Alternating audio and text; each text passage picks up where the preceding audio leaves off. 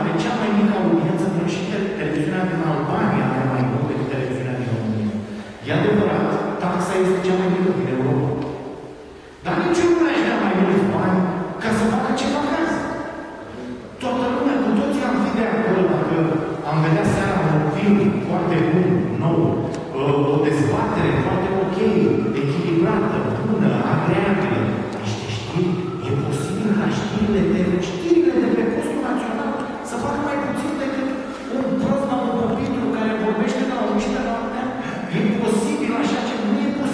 Eu am spus, bă, trebuie să fiți împușcați direct.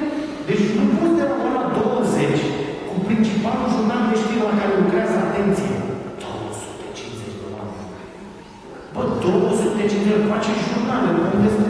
Bă, cât lucrează la un jurnal? Am vrea și eu presa locală. Bă, aveam trei reporteri care erau, bă, nu te angajezi de reporter în presa locală dacă nu știi să conduci. Ne-am înțeles, ești și șofer.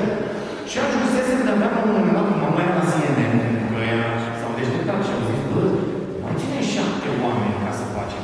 Da? Tu ești reporter, faci și analiză, deci ești și redactor, îți scrii textele și te și filmezi. da. Te duci respectiv aici, ai pus camera, ai reglat-o, ai pus clavul, ai venit aici, ai dat drumul, bună ziua, sunt George, am venit să vă relatez. Și nu mai e nici șofer, nu mai e nici cameraman, nu mai e nimeni. Și îmi permit să dau ție mai mulți bani. Eu așa am făcut. Am zis, bă, conduci? Da, șoferii afară. Toată lumea conduce, da? Luați mașină. Să strică mașina, ați venit. Deci, clar, direct.